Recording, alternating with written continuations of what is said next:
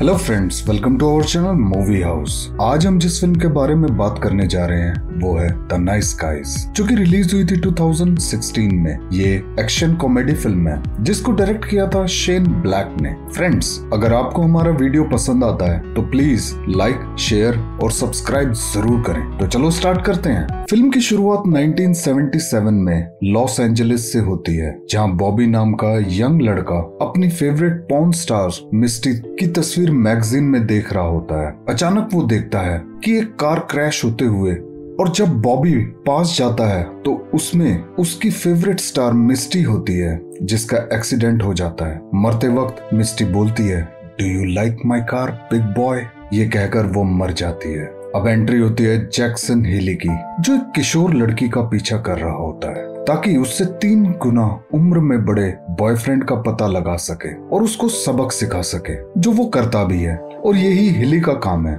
अब मार्च को दिखाया जाता है, जो कि सूट बूट में, पानी के टब में ही सो गया था, ज़्यादा नशे में होने के कारण। अचानक उसके फ़ोन पर उसकी बेटी होली का मैसेज आता है और वो उसे याद दिलाती है कि आज मेरा बर्थडे है और आपको काम पर भी जाना है।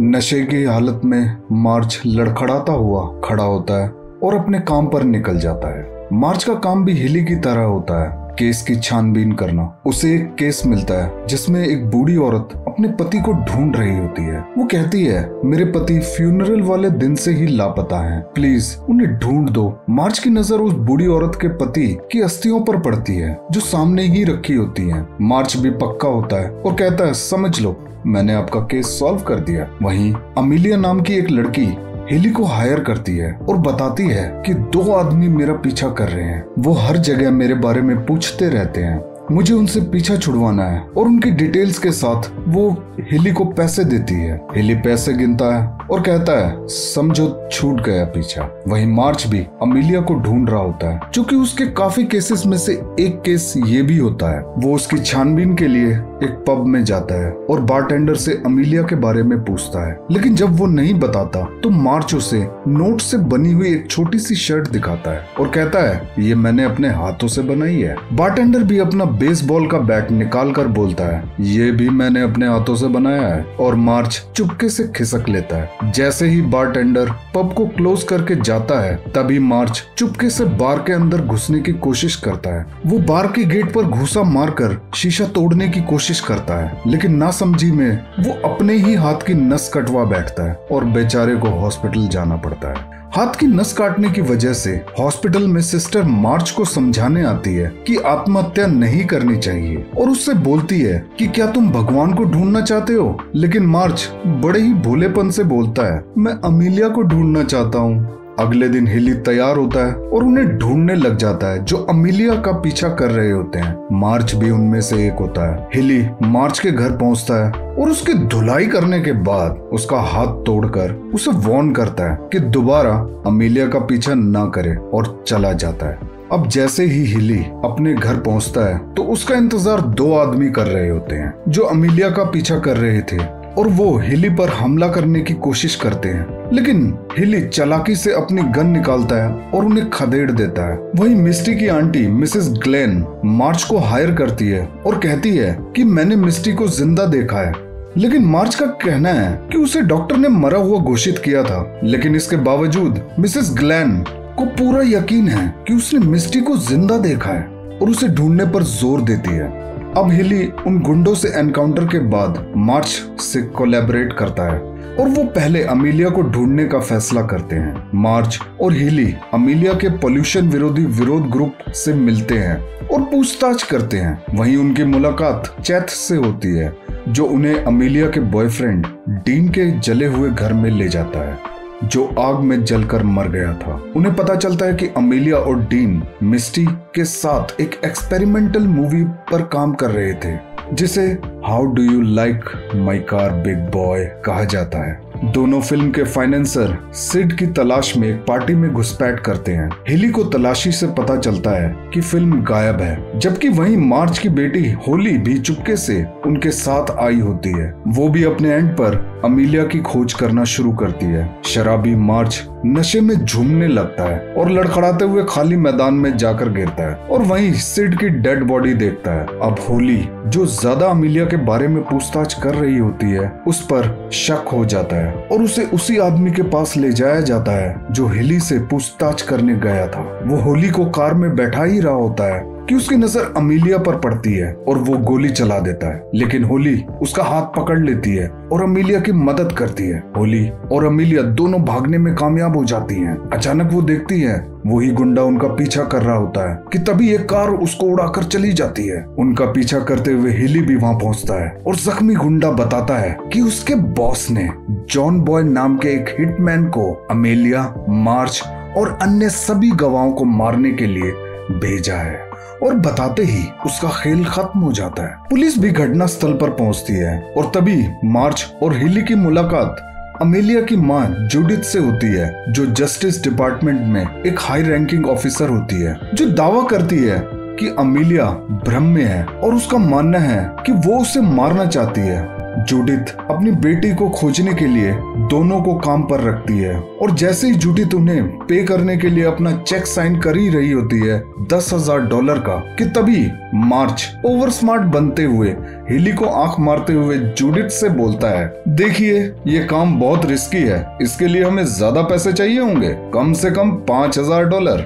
जूडिथ फटाफट पुराना चेक फाड़ती है और नए पाँच हज़ार डॉलर का चेक उन्हें थमा देती है। एक रात मार्च काफ़ी इमोशनल होता है और काफ़ी शराब भी पी रहा होता है। हिली उसके पास आता है। तो उसे पता लगता है कि मार्च ने कैसे अपने न सुनने की प्रॉब्लम से अपनी वाइफ को खो दिया था। उसका घर जल गया था। क्योंकि उसमें गैस लीक हो रही थी। मार्च की वाइफ ने उसे चेताया भी था। शायद गैस लीक हो रही है, लेकिन अपने ना सुन पाने की वजह से वो लापरवाह हो गया था और पूरे घर के साथ उसकी वाइफ भी जल गई थी। अब मार्च और हिली एयरपोर्ट होटल में जाते हैं, जो हिली को उस रात की पार्टी में छानबीन से एड्रेस मिला था, जहाँ अमीलिया फ़िल्म के लिए डीलर से मिल रही है। जॉन बॉय उनसे पहले पहुँच जाता है और वो एक एक करके डीलर्स को मारता है और जल्दबाजी में वो वहाँ से निकल जाते हैं ताकि पुलिस उनको इस कत्ले आम में ना पकड़ ले। वो कार को साइड में लगाकर बहस ही कर रहे होते हैं कि उन्हें वापस जाना चाहिए अमीलिया को बचाने के लिए। तभी अमीलिया उनकी कार पर कूदती है और उन पर गोली चलाकर बेहोश हो जाती है।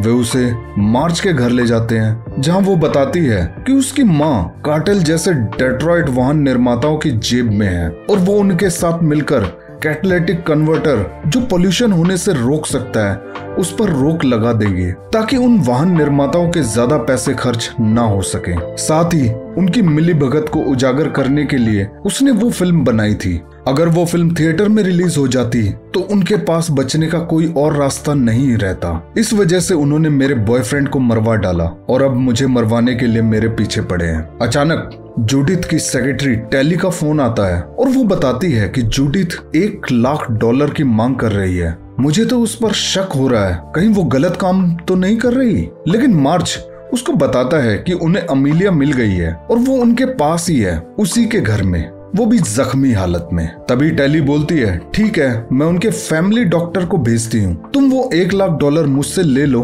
और डिलीवर कर दो। और साथ ही कहती है, मुझे किसी और पर भरोसा नहीं है। मार्च और हिली कैश लेने पहुँच जाते हैं और टैली उन्हें कैश से भरा हुआ ब्रीफ केस पकड़ाते हुए बोलती है कि ये सारे पैसे मैंने अपने हाथों से गिने हैं और वो पैसे लेकर निकल जाते हैं। वापसी में कार ड्राइव करते वक्त मार्च की आँख लग जाती है और वो गाड़ी का एक्सीडेंट कर देता है और ब्रीफ केस छिटक कर गिर जाता है, जिसमें सिर्फ़ कागज़ के टुकड़े निकलते हैं। हिली अंदाज़ा लगाता है कि इसमें कोई चाल है। वो तभी अपने घर की तरफ़ वापस कार घुमाते हैं, क्योंकि उन्हें ऐसा लगता है कि अमीलिया पर ज़रूर अटैक होगा। और जो भी वो बता रही है वो सच है। मार्च और हिली की गैर मौजूदगी में जॉन बॉय डॉक्टर बनकर अमीलिया को मारने पहुँच जाता है।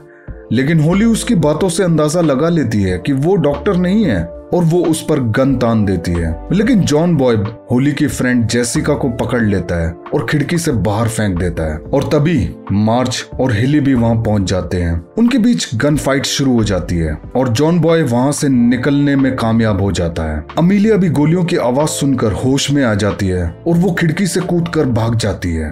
रास्ते में वो एक कार को रोकती है। अनफॉर्चुनेटली उसमें जॉन बॉय होता है। और वो उसे वहीं शूट करके निकल जाता है। पुलिस अब मार्च और हिली से पूछताछ करती है, लेकिन उनके खिलाफ कोई सबूत नहीं मिलता। तो वो उन्हें छोड़ देती है। मार्च, होली और हिली मार्च के घर वापस पहुँचते हैं और सोच ही रहे होते हैं जूडिथ के बारे में कि उसे कैसे पकड़ा जाए। तभी मिसेस ग्लेन उनके पास पहुँचती और शिकायत करने लगती है कि जो केस मैंने तुम्हें दिया था, मेरी भतीजी मिस्टी माउंटेन के लिए तुमने अभी तक उसे सॉल्व क्यों नहीं किया? और वो हिली से कहती है कि इस आदमी पर कभी भरोसा मत करना। और जैसे ही वो बताती है, मरने के दो दिन बाद उसने उसे रेड टॉप पहने हुए देखा था तो हिली समझ जाता है और जल्दी से मिसेस ग्लेन को मिस्टी के घर ले जाने के लिए कहता है। और जब वो घर पहुँचते हैं तो उन्हें दिखता है प्रोजेक्टर। मार्च और हिली पूरी कहानी समझ जाते हैं और वो मिसेस ग्लेन को बताते हैं। दरअसल उन्होंने जिसको देखा, वो असली मिस्ट्री नहीं, बल्कि प्रोजेक्टर पर चलाई गई एक पिक्चर थी, जिसमें मिस्टी को उन्होंने देखा था। लेकिन जब वो प्रोजेक्टर में देखते हैं तो उसमें से फ़िल्म गायब होती है। अब वो पता लगाते हैं, चैट लॉस एंजलिस में, ऑटो शो में प्रोजेक्शनिस्ट है और वो इस प्रोग्राम में वही फ़िल्म चलाने जा रहा है। जो अमीलिया ने चुपके से दूसरी फ़िल्म के साथ एडिट कर दी थी, मार्च, और हिली ऑटो शो में पहुँच जाते हैं। और उनके पीछे पीछे होली भी वो प्रोजेक्शन रूम में एंटर करते हैं और फ़िल्म ढूंढ ही रहे होते हैं कि तभी टैली अपनी रिवॉल्वर के साथ उन्हें रोकने की कोशिश करती है। लेकिन होली बड़ी ही चलाकी से मार्च और हिली को मुसीबत से निकाल लेती है। मार्च और हिली चैट को ढूंढते हैं, लेकिन ऑटो शो के दौरान ही फ़िल्म चल जाती है। जिसके बीच में ही अमीलिया की वो फ़िल्म भी चलती है, जो उसने उन सब करप्टेड लोगों के खिलाफ बनाई थी और एडिट करके दूसरी फ़िल्मों के साथ जोड़ दी थी। अब जूडित और उसके साथी फ़िल्म को हासिल करने के लिए जी तोड़ कोशिश करते हैं। लेकिन मार्च और हिली अपनी बहादुरी दिखाते हुए फ़िल्म को पुलिस तक पहुँचाने में कामयाब हो जाते हैं। जूडित को अरेस्ट कर लिया जाता है। लेकिन वो ज़ोर देकर इस बात को कहती है कि वो मैं नहीं थी जो अमीलिया को मारना चाहती थी। ये सब तो डेट्रॉइट का काम था। और जेल जाने से पहले वो उन्हें फिर चेताती है कि डेट्रॉइट चुप बैठने वालों में से नहीं है। वो कैटलिक कन्वर्टर पर फिर से रोक लगाने की कोशिश करेगा। कुछ दिन बीत जाते हैं हिली बार में शराब पी रहा होता है और मार्च उसके पास आता है और अपनी नई एजेंसी, द नाइस गाइस का एड दिखाता है और दोनों हँसते हुए अपना जाम टकराते हैं और इसी के साथ फ़िल्म खत्म हो जाती है। Thanks for watching bye ciao